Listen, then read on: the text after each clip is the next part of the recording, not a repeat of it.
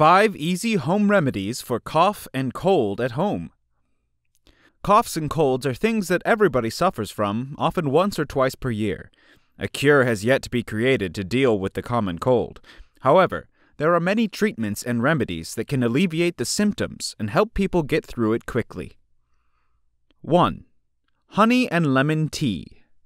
This is a traditional remedy that will soothe the throat and clear the nasal passages. Simply heat up some water and add a few drops of freshly squeezed lemon, along with 2 teaspoons of organic honey. Turmeric can also be added. This has scientifically proven inflammatory benefits that can help treat colds and flus. 2. Chicken broth. Warm chicken broth is often cited as a great cure for the common cold. However, any kind of warm broth or soup could help. A warm vegetable soup may also be a good idea. It is hydrating and will help to break up mucus. 3. Steam. Hot steam is a great way to handle coughs and colds. You can also add herbal drops to the steam. Typical steam at home would be a basin full of hot water while you cover yourself with a towel. Practically, very few people will have a steam room in their home. Another option would be a humidifier or vaporizer while you sleep. The moisture will loosen the mucus and help with breathing. It is important to avoid dirty air and cigarettes, especially when you are suffering from a cough or cold, as you will be especially vulnerable. 4. Salt water.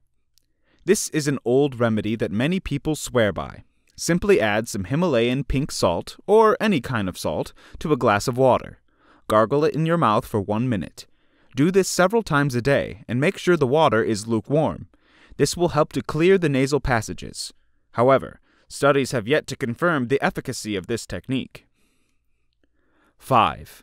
Heat, rest, and relaxation. The best remedy is to stay at home, in bed, with a hot water bottle. Heat and relaxation will work over time, and make sure to wrap up well if you go out and about. Your body does most of its repair work when you are sleeping.